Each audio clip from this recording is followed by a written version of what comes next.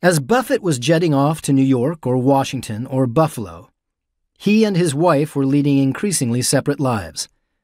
Susie was getting serious about her singing. Neil Sedaka heard her in Omaha and suggested that she turn professional. And Susie was game to do it. Bill Ruane, Warren's investment manager friend, arranged for her to audition at Manhattan nightclubs, including Tramps and the Ballroom. The Buffett's New York friends discovered that she could sing.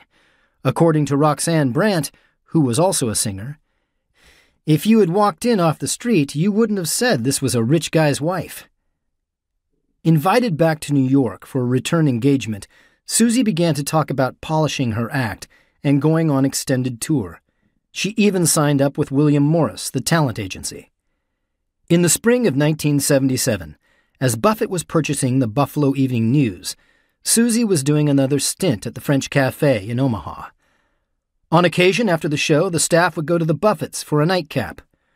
Warren would join them for a few minutes and then disappear to his study, leaving Susie to play hostess. I have a picture of Mom and the French Cafe people coming over, Peter said. Dad was like the dad. He was upstairs reading. Mom and her friends were like the kids.